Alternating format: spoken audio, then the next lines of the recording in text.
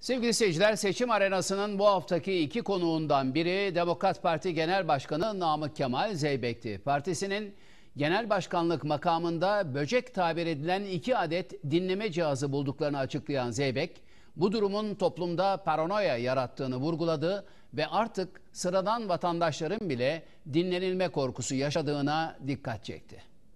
Cumhuriyet Halk Partisi Adana Milletvekili Tacidar Seyhan'ı sizin oturduğunuz koltukta konuk ettim.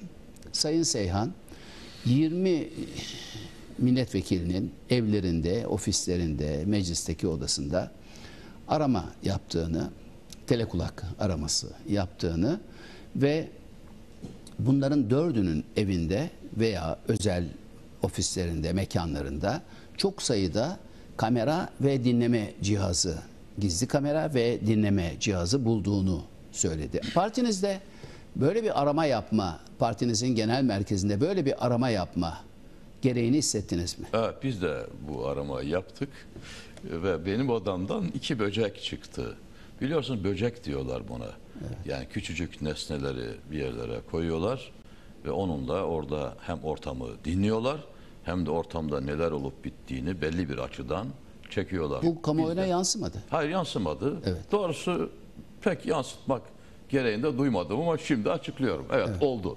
Makamınızda Demokrat Parti Genel Başkanlığı merkezinde böcekler bulunduğu zaman ne hissettiniz siz? Tabii karşıladım çünkü artık e, o kadar tabiileşti ki bu. Yani bazı şeyleri yadırgamıyoruz. Yani artık. böcekle karşılaşmak günlük hayatımızın vazgeçilmez bir parçası haline mi geldi? Yani ben her an dinlendiğimi hissediyorum. Yani mesela benim elbisemi bir yerine de koymuş olabilirler. İzlendiğimiz ve dinlendiğimiz düşüncesi içindeyiz. Biz buna tahammül edebiliriz. Ama bir toplumda her fert acaba telefonumda beni dinliyorlar mı? Acaba evimde beni gözetliyorlar mı? Acaba ben evimde soyunurken benim resmim çekiliyor ya da ben kameraya alınıyor muyum? Korkusu içinde olduğu zaman toplumun sağlığı bozulur. Toplumun sağlığı bozuluyor. Çok açık söylüyorum. Hani paranoya diyorlar. Bu kolektif paranoya sebep olur. Bir müddet sonra bunun nelere sebep olacağını düşünmek bile istemiyorum.